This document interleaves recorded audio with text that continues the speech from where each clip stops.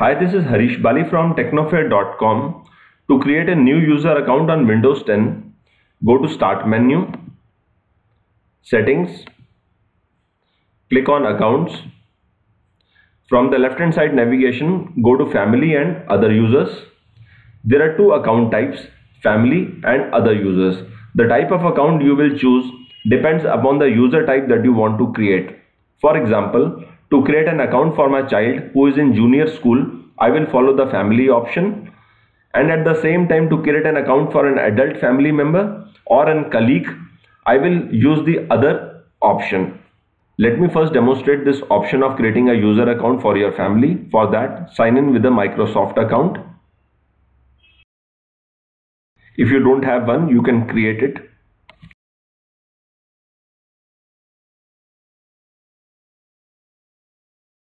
If you have a login password for your Windows, enter that or else proceed.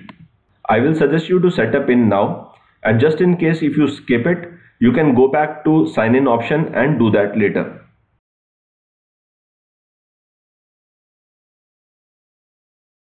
After this, add a family member.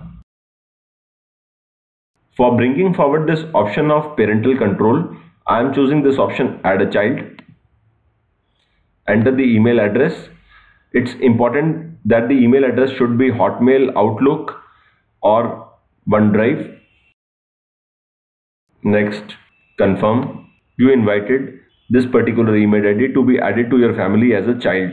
Until they accept the invite from their email they'll be able to log into the device without family settings applied to their account.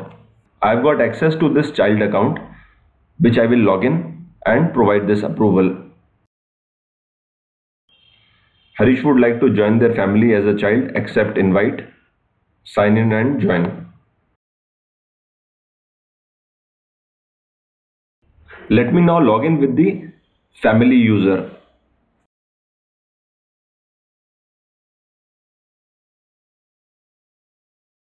Meanwhile, choose the account type. There are two options that are available, administrator and standard user. Both these option types can do almost everything.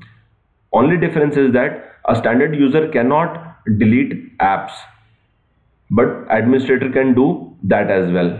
I am choosing this as a standard user. Okay.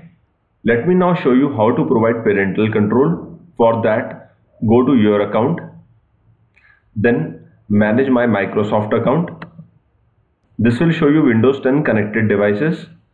Thereafter go to family I can check recent activity, provide some budget for spending, fix screen time for web browsing and the kind of apps that the user can use, set time limit.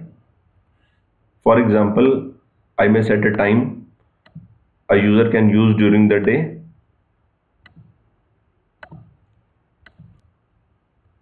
Web browsing block inappropriate content. You may want to block or unblock few sites. So this is the place where you enter the sites that you want to block. This is about the online setting of your Microsoft account. Let me now go back to settings. Go back to family and other users.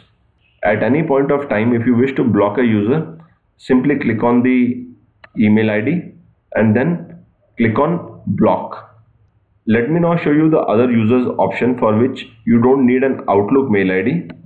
Add someone else. I don't have this person sign in information means that the email ID is not, not an Outlook one. Add a user without a Microsoft account.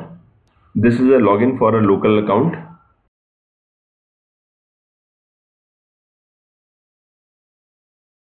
So this new user in the local machine has got created.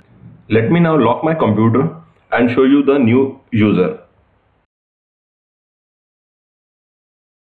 That's it about creating a new user account on Windows 10. If you found this tutorial good, do give it a thumbs up. Also watch other interesting videos by clicking on the links appearing in front of your screen.